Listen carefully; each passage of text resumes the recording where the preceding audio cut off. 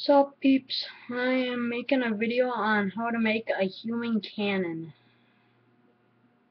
They're really quite simple, they're just like a normal cannon. This is an example of one. This one was the this one I just made a cannon and I accidentally forgot to do something with it and it backfired except except I slipped onto the TNT and it launched me. So I am planning to do that again.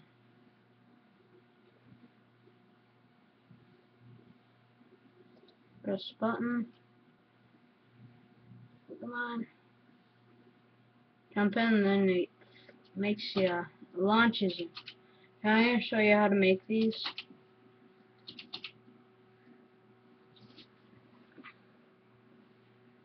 First of all, we are going to, what you need is a strong brick, some redstone repeater, you can just read the bottom, TNT, redstone, water, a bucket of water, button, and yeah, that's pretty much all you need. Okay, make seven, one, two, three, four, five, six,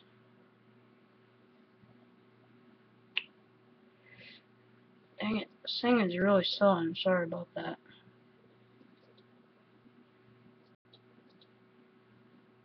That.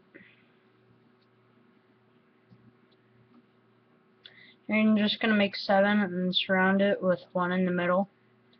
So you're going to use up three. I suggest you layer the bottom with the brick that you have chosen.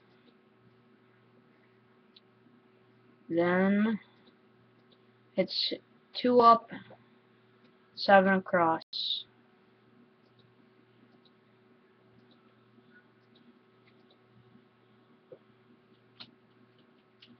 Really I just made a cannon that I found on YouTube and now I'm making a video on how to make a human cannon.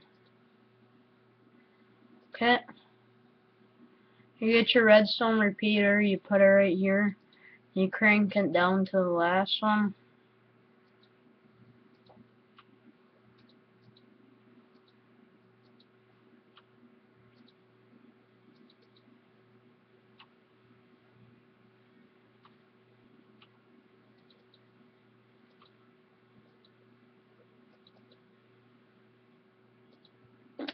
That, now you get your redstone, put it in a line like this, goes out to break that off, goes out to right here,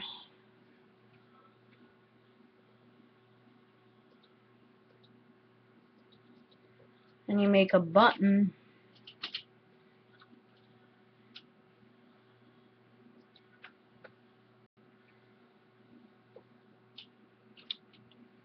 I'm really sorry about my computer being slow.